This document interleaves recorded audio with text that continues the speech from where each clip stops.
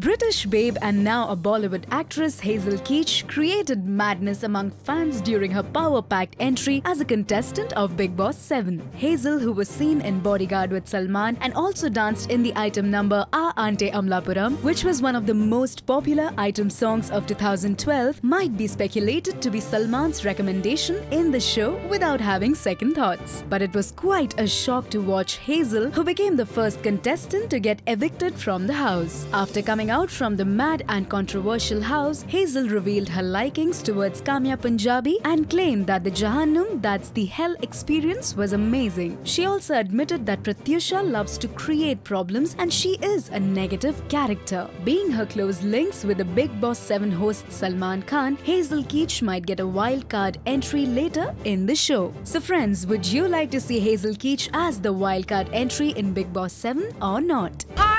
Zurvashid Dholakia and you have to subscribe to Bollywood Now.